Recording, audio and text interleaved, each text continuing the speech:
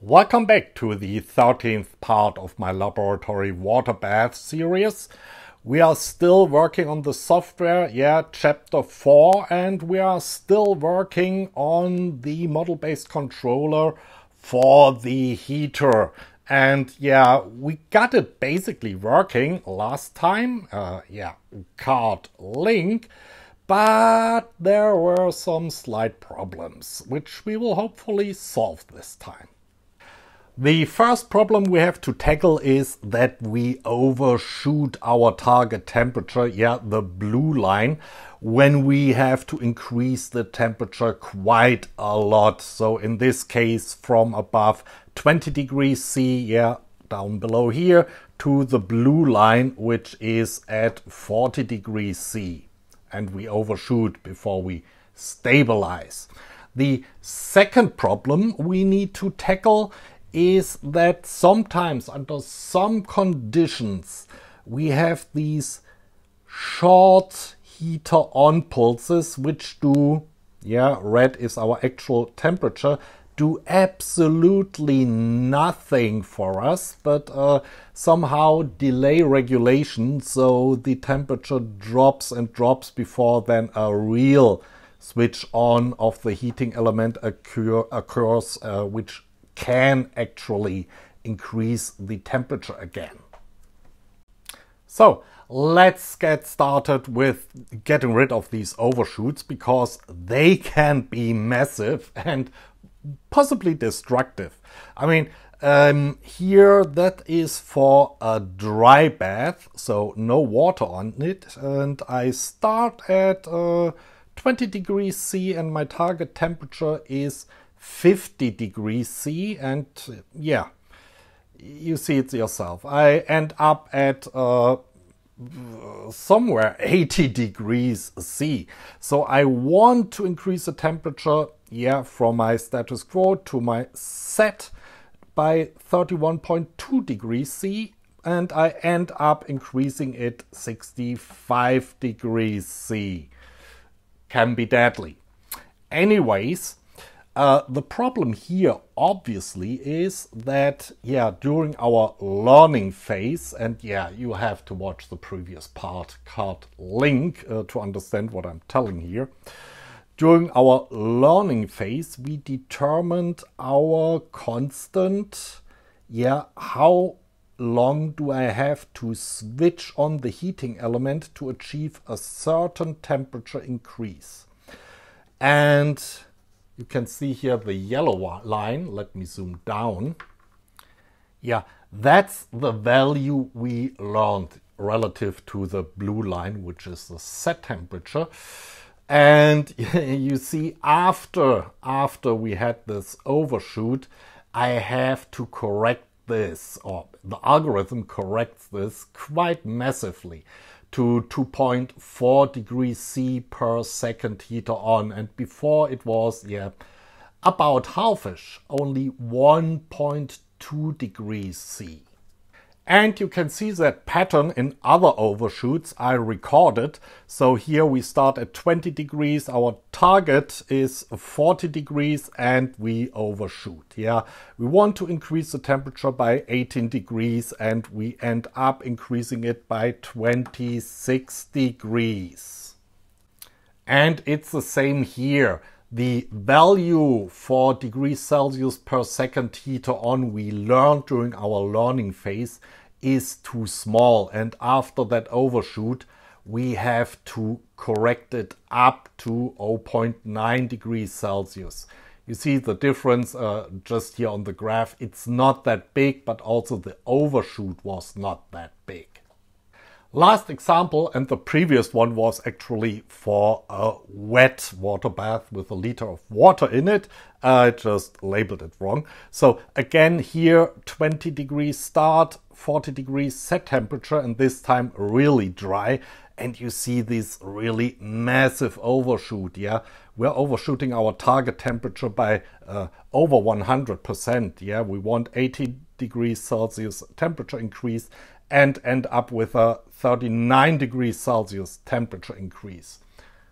And again, our yellow line, our model parameter, degrees Celsius per second heater on, has to be corrected, yeah, uh, over a factor of twice, I would say, to 2.8 degrees C per Celsius after that overshoot.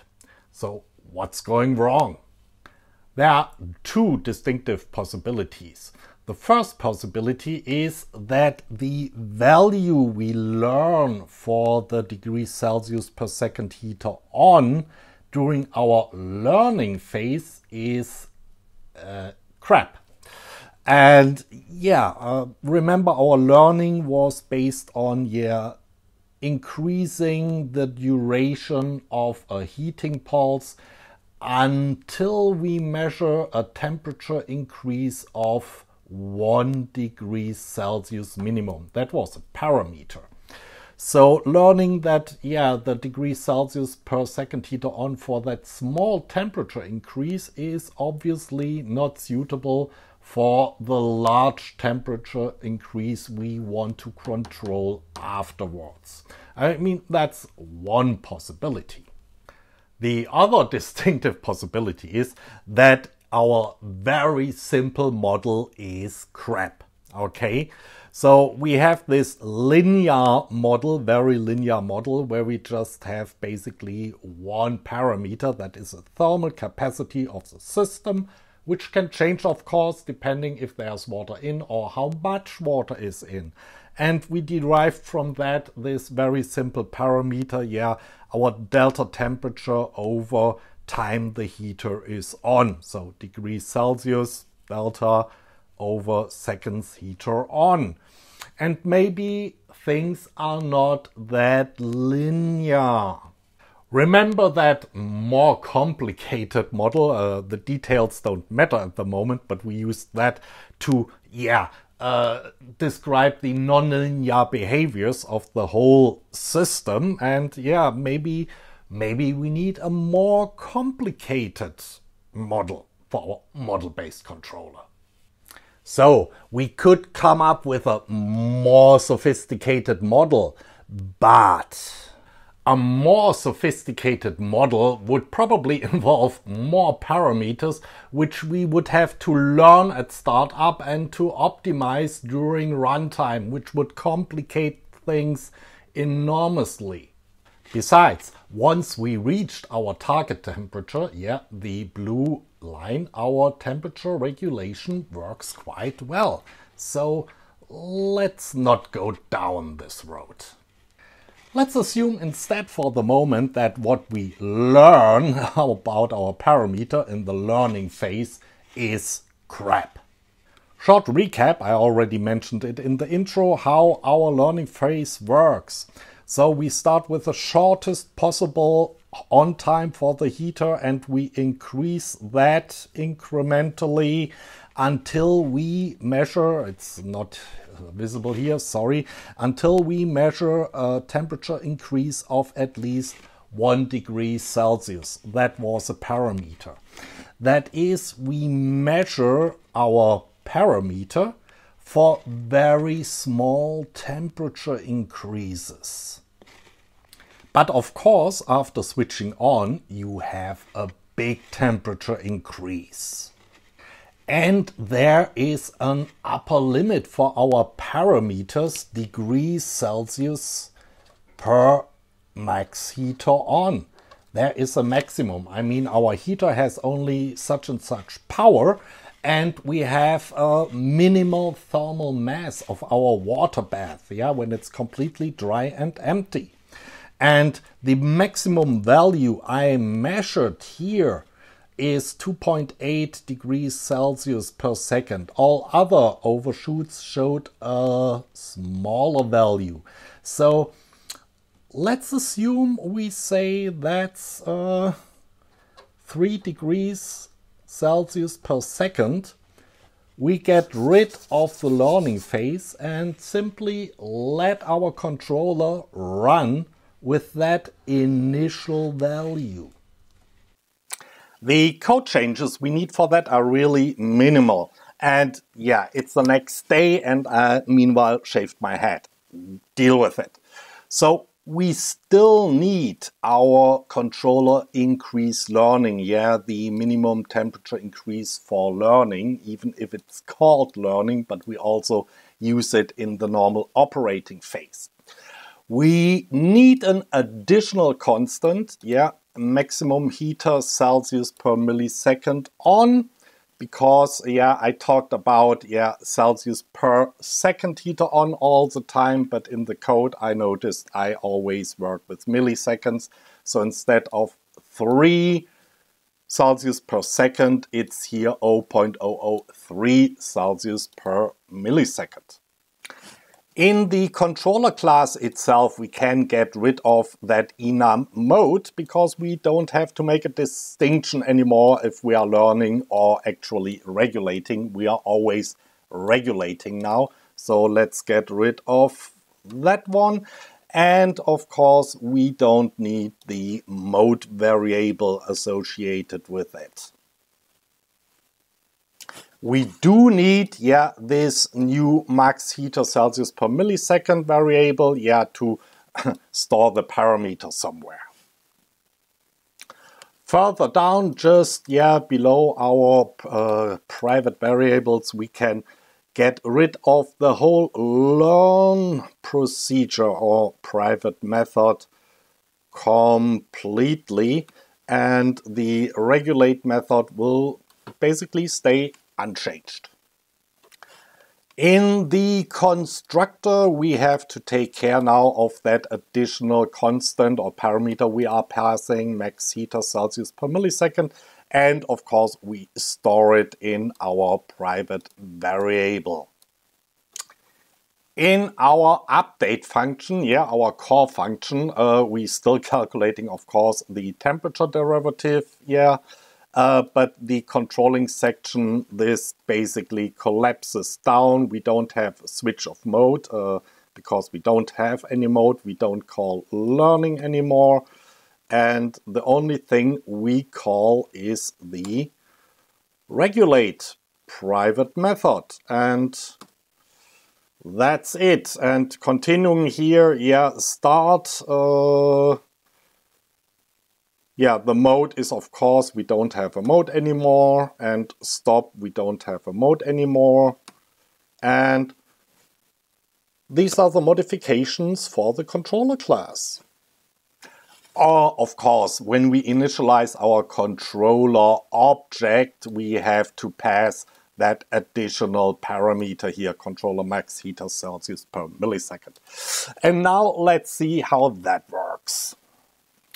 Okay, our set temperature should be, uh, sorry, at 40 degrees C, which it is now, and now I'm switching on. And we have immediately a heater on, and the temperature will rise. And we have that short pulse, but we yeah, that was the correction, uh, yeah, uh, or adjustment of our parameter after that big temperature rise. Okay, um, we can stop here at that point. Uh, let me disconnect the whole thing and switch it off. We're holding the temperature and this is uh, uh, everything here is above a 38.5 degrees C so yeah we are uh, within 1.5 degrees C of our target temperature a little bit of uh, yeah staying below it but um, that's not a problem that's not a problem. Let's test that with water in the bath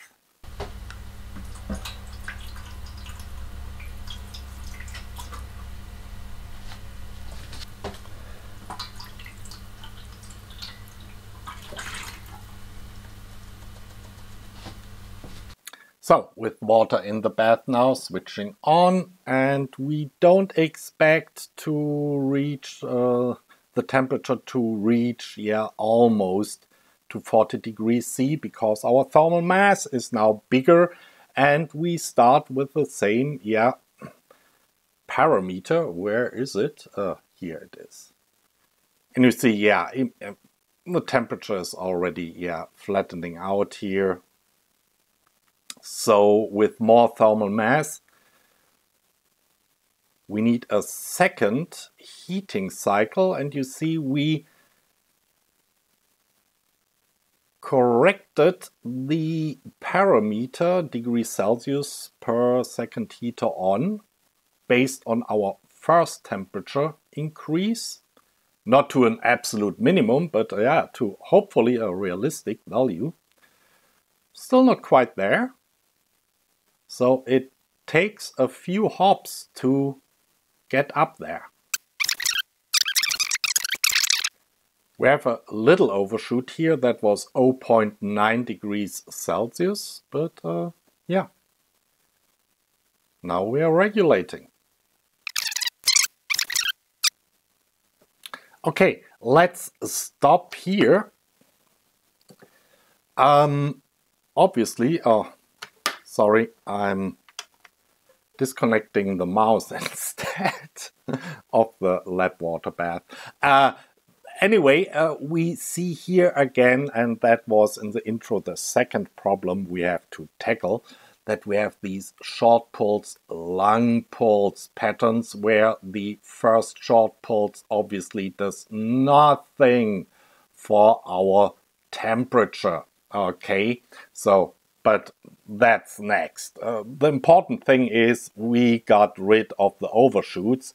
So yeah, if we have really a high thermal load in here, we need a few bumps, yeah, to get up to temperature and then we're regulating. So everything's fine. And we just achieved that by basically throwing out a whole lot of code. So yeah, I'm happy. Um, great, next problem. So let's talk about these short on, long on sequences. I've analyzed here an example from the last video. Yeah, there was already a card, but a link below. And we have here again a very short on, then a longer on, short on, then a longer on. And in that example, that repeated for the whole time while the unit was regulating the temperature. And for these two pairs, I've drawn in some additional lines. First, these black lines. And these mark the dead time or the end of the dead time after we switched the heating element on. So 10 seconds until we expect anything to happen with the temperature after we start heating. And then we have these dotted red lines. These are tangents to our red temperature curve at the points where we switch the heater on. A little math at that point. The steepness of our tangents is of course the derivative of our temperature curve at the points where I have drawn in the tangents. And we already calculate the derivative of our temperature curve. However, that is low pass filtered. So there is a little time delay in that derivative relative to the original temperature curve. Keep that in mind. If we just have a look at that first heater on here, the duration of that heater on is calculated by our model parameter, degrees Celsius per second heater on, and the difference between our actual temperature and our set temperature. However, after the dead time, that difference has grown bigger because our temperature was falling, still falling at that point. And yeah, our temperature derivative was, of course, because it's falling, negative. That is, in effect, we made our pulse too short because we based it on this difference instead of that difference here. And you have this exactly the same picture for the second short on. and to a lesser extent also for the long short ons. Uh, the error here is, of course, a little bit smaller or significantly smaller because the temperature is not falling as fast at these points. Currently, our algorithm, specifically the condition when to switch the heater on, works as follows. We have here three subclasses in that condition. The first one being the temperature derivative, the green line, must be zero or smaller than zero. Yeah, we have that here when the temperature, red line, is falling again. Then the temperature must be below the set temperature minus our minimum learning limit, which is 1 degree C currently, and it must be smaller than the set temperature minus the minimum temperature increase we can achieve by only switching on the heater for one cycle, currently 500 milliseconds. When all three conditions are fulfilled, we take the difference between our actual temperature and the set temperature at that point in time and use that to calculate our heater on time. But we know this difference is too small because after the dead time has passed, the temperature has fallen further.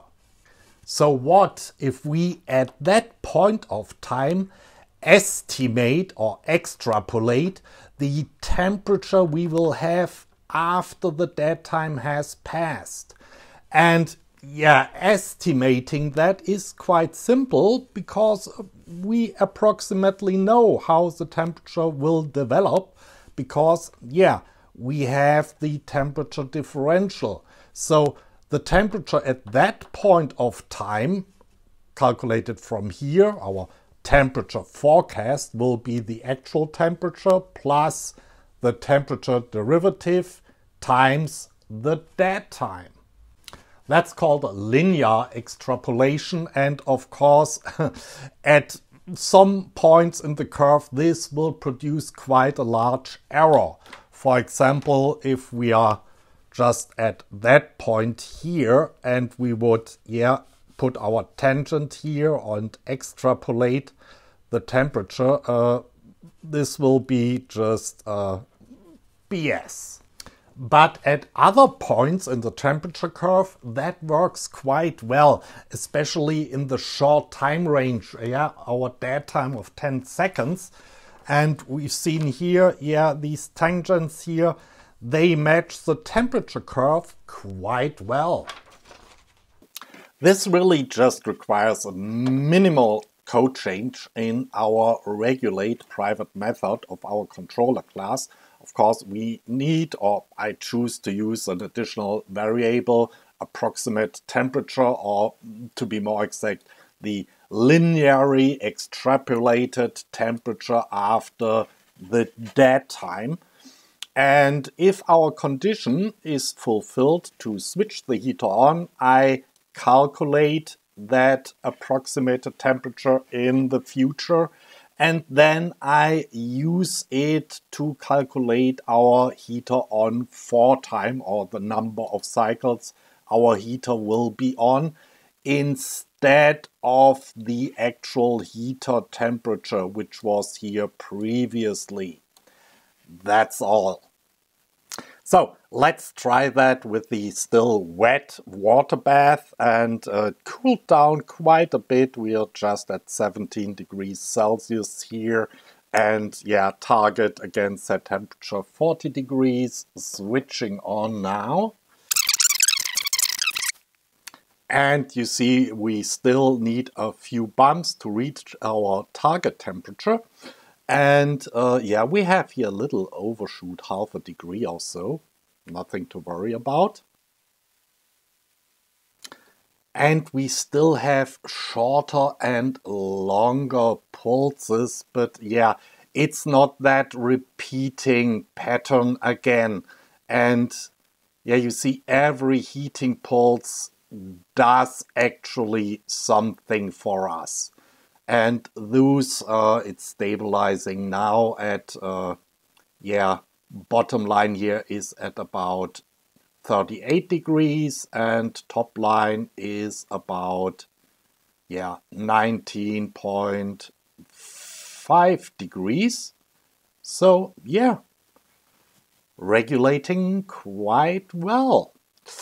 Uh, we need to try that with a dry water bath too of course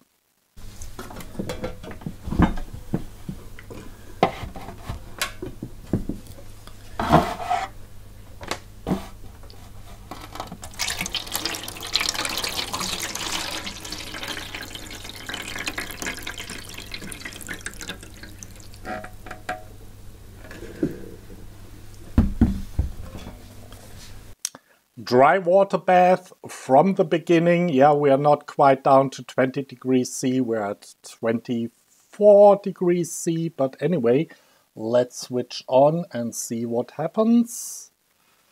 Heater comes on, of course, and...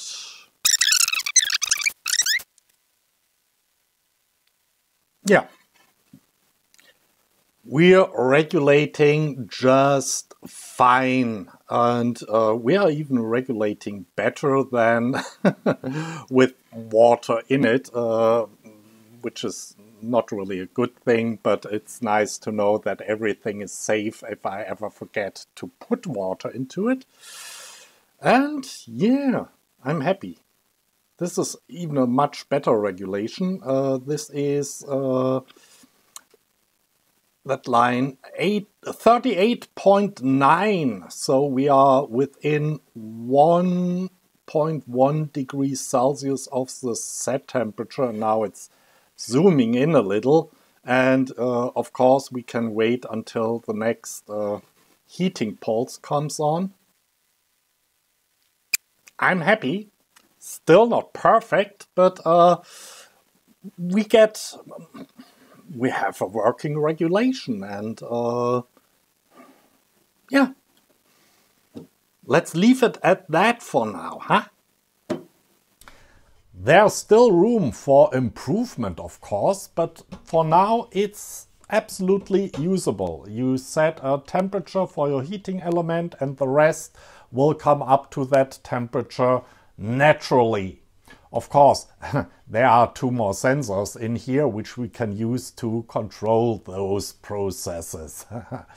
uh, but this will happen at a later point in time. For now, I have to review a 40 gigahertz signal generator. See the unboxing video card link. And before I start to incorporate these other two sensors, I need something to shake things up, meaning a laboratory shaker that shakes my water bath. Cause, uh, well, water in itself is a very bad conductor for heat. And so to have a real good distribution of temperature inside the water bath, you need to shake it. Uh, shaking stuff is also very good uh, when you're etching PCBs. So yeah, that's a prerequisite before we can continue with our controller here. Um, yeah, Oh, by the way, uh, some people uh, wanted to see the code and the current code, which is, of course, a work in progress. Uh, there's a link down there to a Google Drive where you can find it. Okay, I've got everything now. So, till next time, bye.